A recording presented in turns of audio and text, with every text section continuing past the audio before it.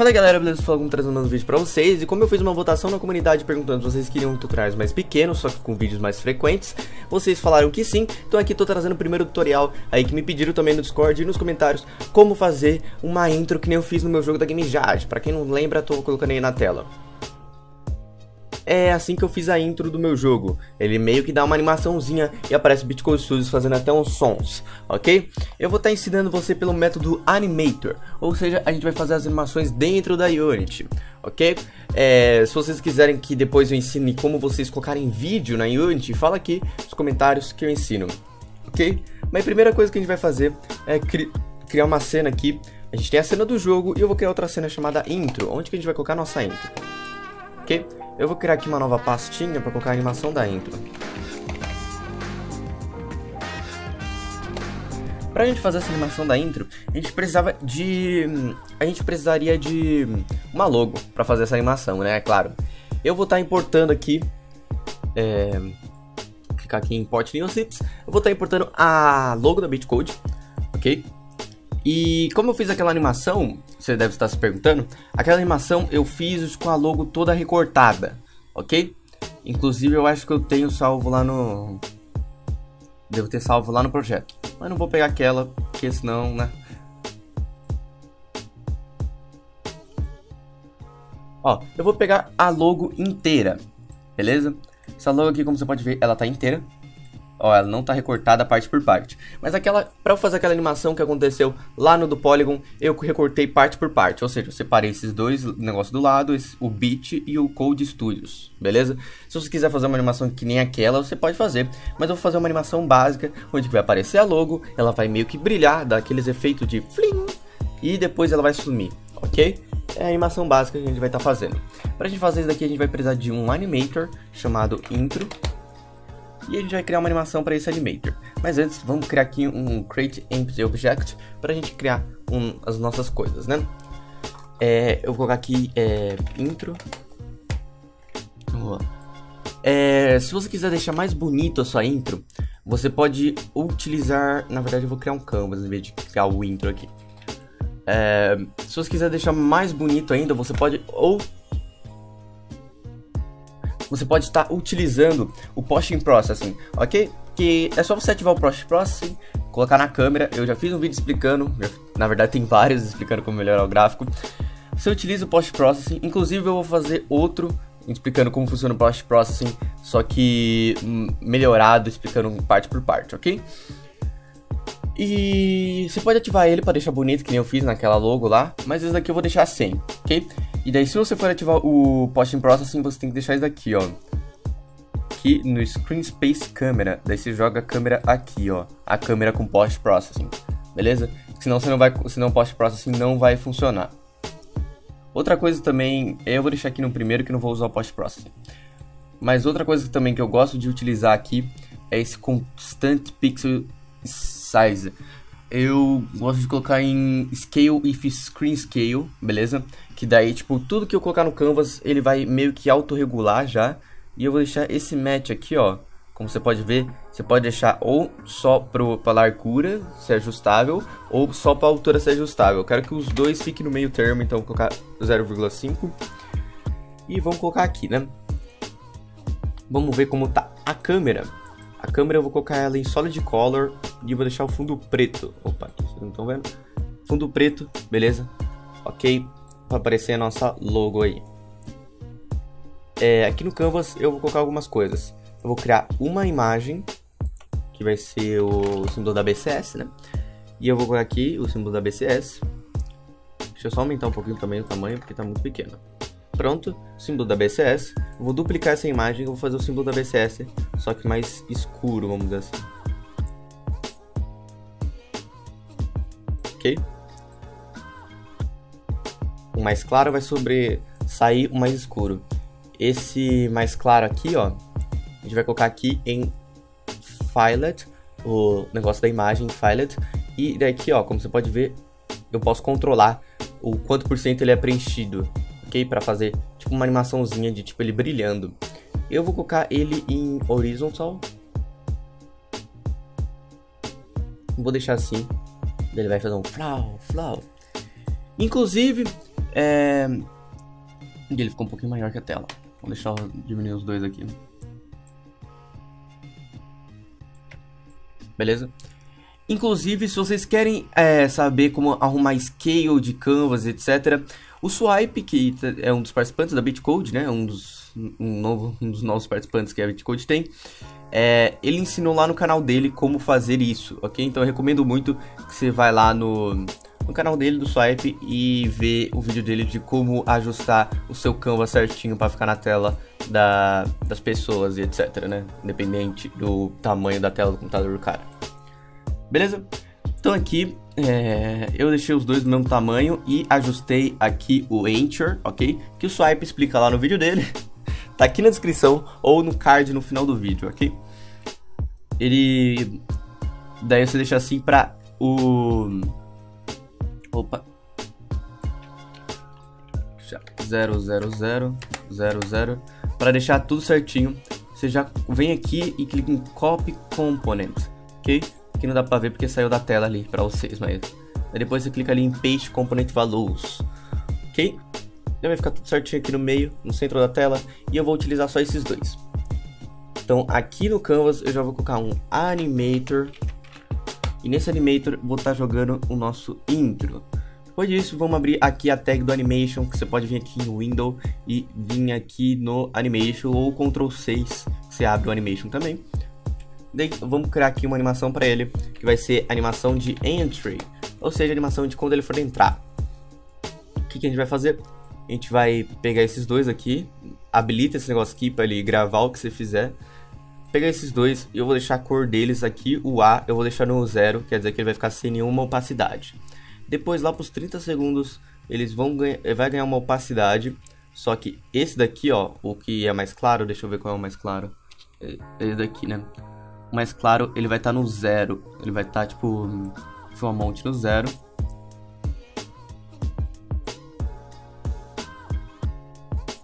Filmont vai estar tá no zero dele.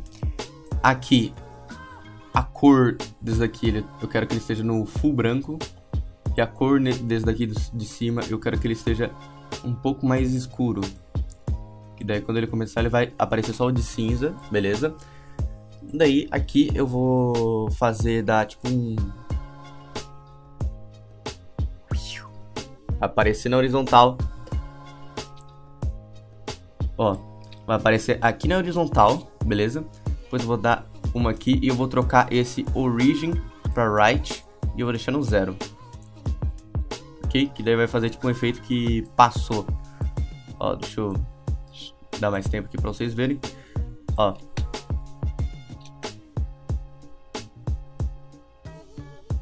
Aqui eu tenho que deixar... Peraí. Vamos arrumar aqui. Aqui a gente deixa já no right, né? Ele vai pro right. Aqui ele tá no left. Vamos deixar no left aqui, né? Origin. Ó. Tá, porque ele não chega até o final? Para no meio. Só a gente deixar esse daqui no left um frame antes dele ir.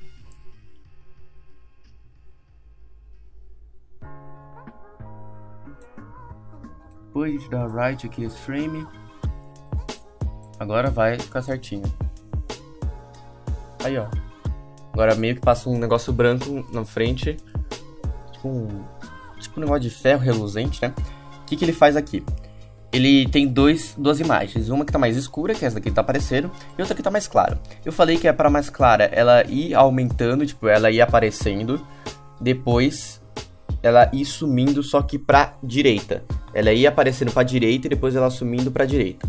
Ok? Depois de feito isso daqui, você se dá aí seu tempo, né, pra...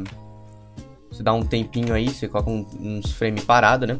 Você clica aqui um Ctrl C, Daí você vai, sei lá, eu quero que fique até os 4 segundos parado na tela da, aparecendo o logo da Bitcode. Depois aqui, nos 30 segundos, eu quero que os, os dois fiquem com opacidade zero. Opa. Os dois aqui fiquem com opacidade zero. Pronto. agora já tá feita aí a sua intro. Só que a gente tem que vir aqui, ó, nesse 4 segundos e tem que colocar para ele ficar com opacidade hum, cheia, ok? O que, eu tô fazendo? Ó.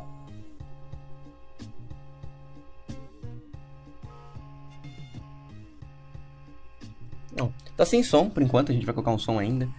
Ó. O que, que ele faz aqui? Primeiro dá opacidade e aparece o nosso ícone só que com opacidade baixa.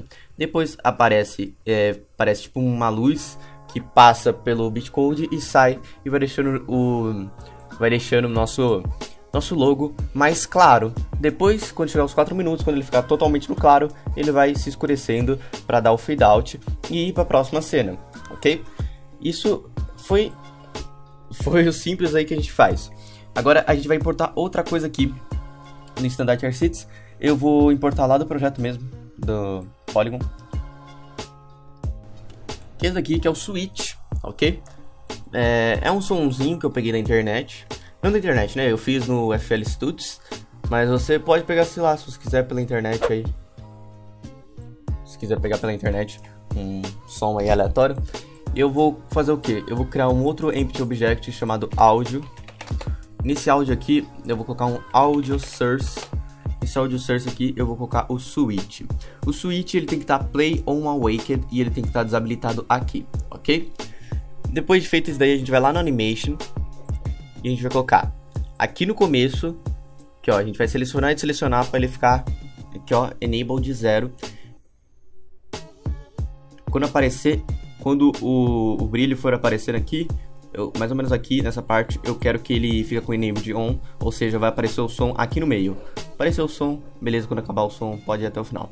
Então vamos dar um play para ver como tá ficando o nosso só intro, né?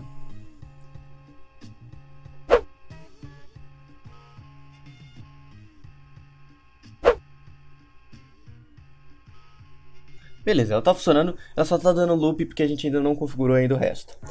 Ok? Depois de fazer o entry dela, a gente vai criar outro estado empty aqui, que vai ser o estado de transição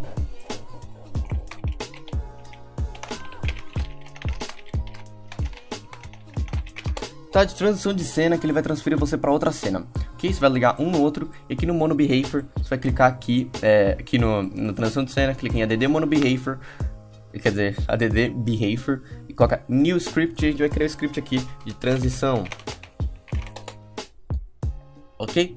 Você vai clicar aqui, ele vai abrir, ele vai criar aqui para você, você vai esperar um pouquinho até ele ficar válido.